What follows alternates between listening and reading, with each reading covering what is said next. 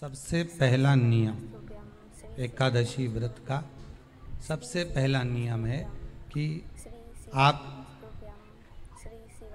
जिस दिन व्रत करो, उसके एक दिन पहले भक्ति का संचार इस हृदय में करो। भक्ति का संचार इस हृदय में कर लीजिए। जिस दिन आप व्रत करो, जैसे एकादशी का व्रत कर रहे हो तो दशमी के दिन शाम का समय जब आवे, रात्रि जब होने लगे, शाम का समय आवे, और रात्रि का आप जब भोजन ग्रहण करो तो उस भोजन में कोई ऐसा पदार्थ ग्रहण मत करिए जिस पदार्थ के कारण आपकी एकादशी बिगड़ जाए।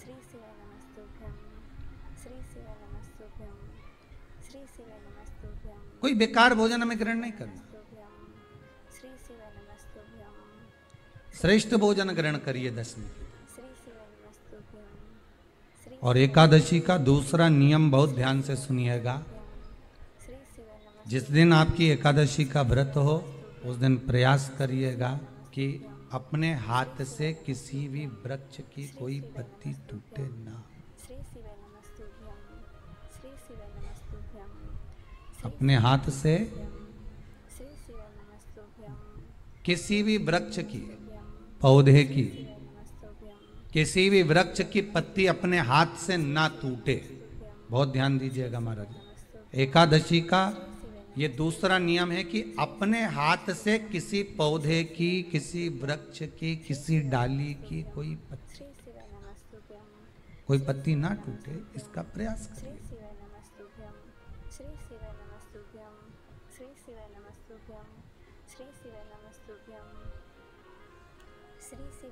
कितना सुंदर व्याख्यान कहा है कितना सुंदर वर्णन है महाराज। कि मात्र एकादशी का व्रत कर लेने पर। मात्र एकादशी का व्रत कर लेने। पर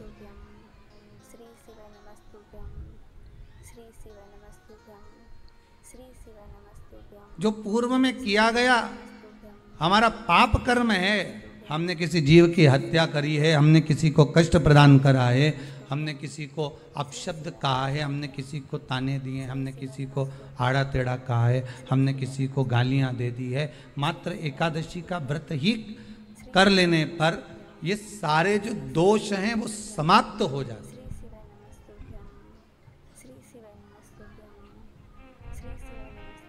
सारे दोष हमारे समाप्ति पर आ जाते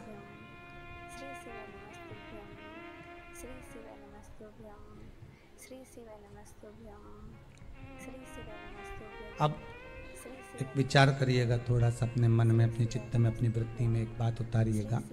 एक अपने मन में एक बात को उतार कर रखिएगा कि आप अपने पाप को, अपने पाप कर्म को जिस दिन छिन्न करने वाले हो, समाप्त करने वाले हो, अपने पाप को आप जिस दिन समाप्ति पर लेकर जा रहे हो तो उसके एक दिन पहले आपको प्रसन्नता होना चाहिए कि नहीं होना चाहिए? कि कल मेरा पाप कटने वाला है? कल मेरा पाप समाप्त तो होने वाला जो मैंने पाप कर्म करा है, वो समाप्त तो होगा। जो मैंने पाप कर्म करा है, वो कल समाप्त तो हो जाएगा। तो एक दिन पहले आपके चेहरे पर प्रसन्नता हो कि ना हो?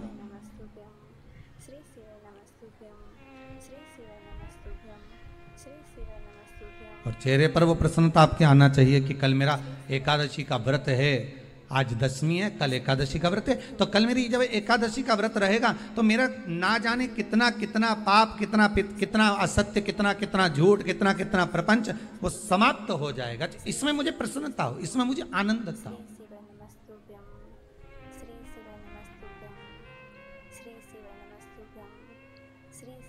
तो क्या कहा गया कि प्रयास करिएगा कि एकादशी के दिन कोई वृक्ष की, कोई डाली की, कोई कोपल की, कोई पत्ती ना तोड़ी जाए। क्यों? तो कहा, अगर उस पत्ती को हम तोड़ देते हैं, वृक्ष की पत्ती को, या क्यारे में लगी हुई कोई डाली की पत्ती को हम तोड़ देते हैं तो एकादशी का पुण्य फल प्राप्त नहीं होता। एकादशी का कोई फल हमारे खाते में नहीं जाता। पुण्य फल प्राप्त अब फिर भले तुम चाहे तुमने मोरधन खाया हो चाहे तुमने फिर चिप्स खाई हो चाहे तुमने फिर व्रत का कितना ही सामान खा गए हो और तुमने सोचा कि आज मेरी एकादशी है तो फिर फिर उसका कोई फल प्राप्त नहीं है उसका कोई सुख प्राप्त नहीं है आपको फिर उसका कोई आनंद प्राप्त नहीं है आपको। तो उसमें कोई आनंद की अनुभूति आपको नहीं मिल। रही किसी भी शिव मंदिर में तुम जाते हो, शंकर जी का पूजन करते हो, उस शिव मंदिर को हल्के में मत लेना।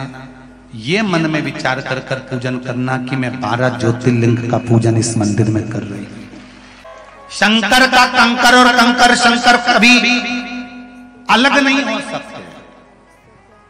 जो बारह ज्योतिर्लिंग का स्वरूप होता है, वही आपके नगर में, आपके गाँव में, आपके मोहल्ले में, आपके क्षेत्र में, जिस गाँव में आप पूजन करने जाते हो, शंकर का अनुमोदन करने जाते हो, उस गाँव में जो शिवलिंग है, उसका भी बल बड़ा बड़ा ये कि मैं बहुत हताश हो चुकी हूँ।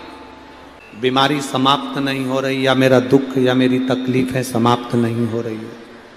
कष्ट मेरे मिट्टी नहीं दुख मेरे समाप्त ही नहीं तब बेलपत्री के जो बीच वाली पत्ती होती है और उस पत्ती के नीचे दो पत्तियाँ होती हैं। बहुत ध्यान से देखिएगा और समझिएगा जैसे ये बीच वाली पत्ती है और उसके नीचे दो पत्ती है।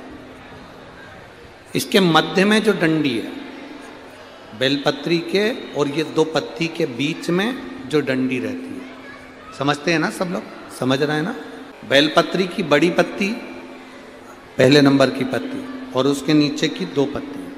उसके बीच की जो डंडी होती है, इस डंडी में चंदन का लेपन कर कर, ये बीच की जो भाग है, डंडी है, उसमें ये तो दो पत्ती हो गई, एक ये पत्ती हो गई।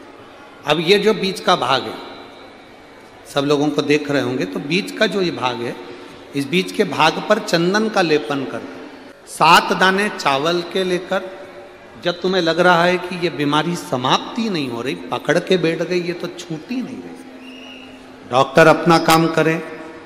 या कोई ऐसी बात है कि अदालत में कोई केस चल रहा है या प्रशासनिक कोई तकलीफ़ आ रही है, या अपने घर में कोई व्यापार से जुड़ी हुई या कोई धन से जुड़ी हुई कोई प्रॉब्लम है और वो समाप्ति नहीं हो रही। बहुत बहुत आप लोगों ने कर लिया।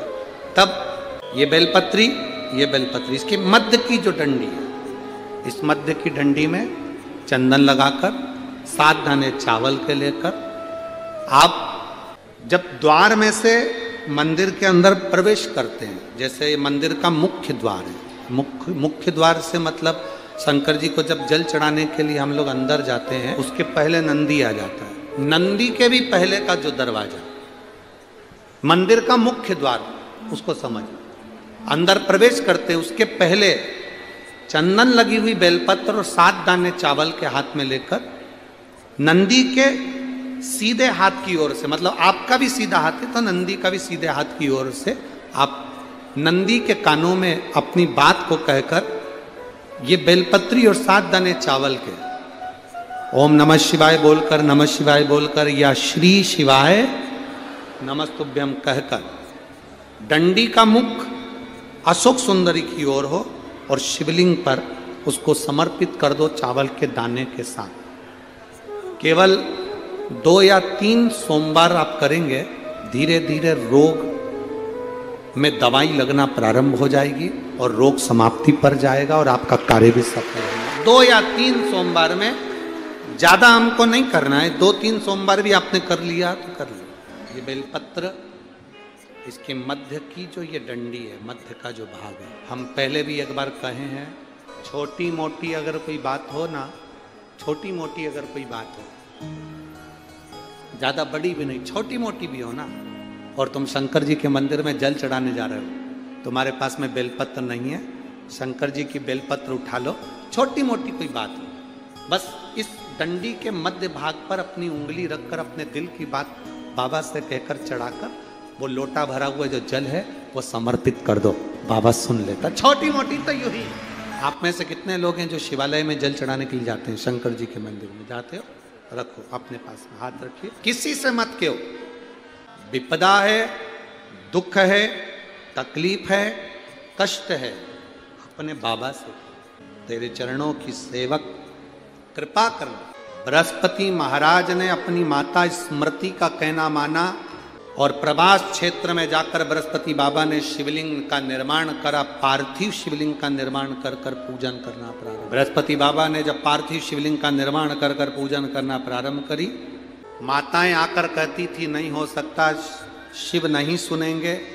इंद्र ने देखा, और इंद्र ने देखकर बृहस्पति बाबा की हँसी उड़ाई, क्या शंकर जी पे जल चढ़ाने से शंकर सब कुछ दे सकते हैं? इंद्र हंस रहा है। इंद्र को हँसी आ जब व्यक्ति को बहुत सारा ज्ञान का अजीर्ण हो जाता है ना अहंकार ज़्यादा बढ़ जाता है सत्ता का मत बढ़ जाता है। जब व्यक्ति को बहुत अभिमान घेर लेता है और उसको लगता है कि लोग मेरी सुनते हैं तो वो कुछ भी बोल देता जिसके शरीर में कहीं गांठ पड़ रही हो चाहे वो बच्चा दानी में हो चाहे वो चेस्ट में हो चाहे कहीं पर भी हो शिव जी पे चढ़ा हुआ जल जब हाथ में झेलो हाथ में जब झेलो तब उस समय पर या तो पंचाक्षर या श्री शिवाय नमस्तुभ्यम मंत्र का जाप करते करते लेकर शिव जी की चढ़ी हुई एक बेलपत्री को लेकर शंकर भगवान के मंदिर के ही बाहर वीरभद्र का नाम लेकर मणिभद्र का नाम वीरभद्र नहीं, मणिभद्र का नाम लेकर जो भगवान शंकर के गण है, दरवाजे के द्वार पर मणिभद्र का नाम लेकर दरवाजे के बाहर बैठकर उसका आचमन कर कर उस बेलपत्री को वहीं पर खाना चालू कर दो। भले हफ़्ते में दो बार खाओ धीरे धीरे गांठ गलना प्रारंभ हो जाएगी। मणिभद्र मणिभद्र का स्मरण दिल से कहूँ आप लोगों से, आप स्वीकार करिएगा, दुख की घड़ी में कोई आए चाहे ना आए।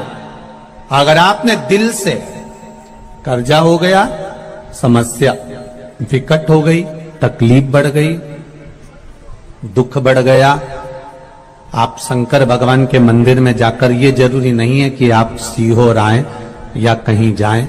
आप तो आपके घर के पास में जो शिव मंदिर हो, उस मंदिर में एक लोटा जल चढ़ाना चालू कर दो और धीरे धीरे दुख काटना प्रारंभ कर दे।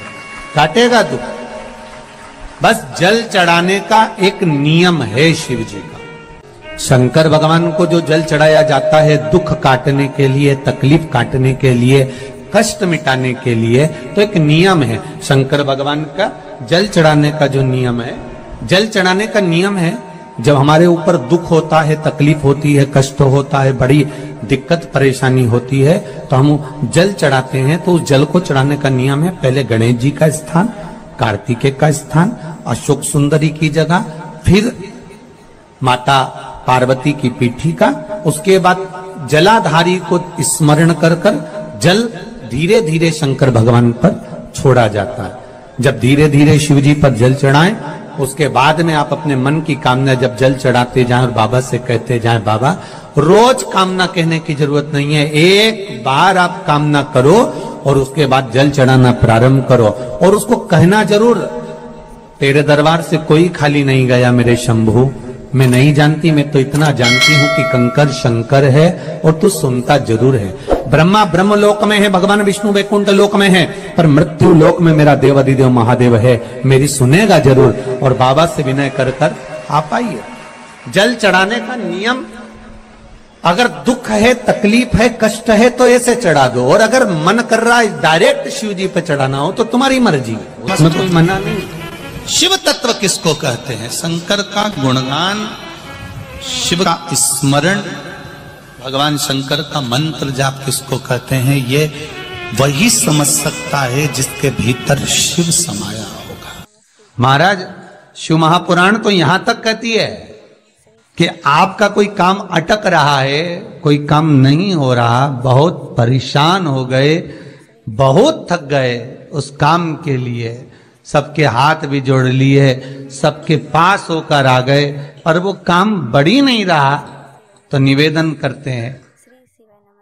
घी के दिए में काली तिल डालकर सोमवार के दिन शंकर जी के मंदिर के सामने तुम रुका जी का नाम लेकर दिया लगाकर जिस काम को तुमने दुनिया के आगे कहकर देख लिया, कर कर देख लिया, नहीं हुआ, उस कार्य को एक बार दिया लगाकर, निवेदन कर कर फिर जाकर देखना काम आगे बढ़कर ही रहेगा।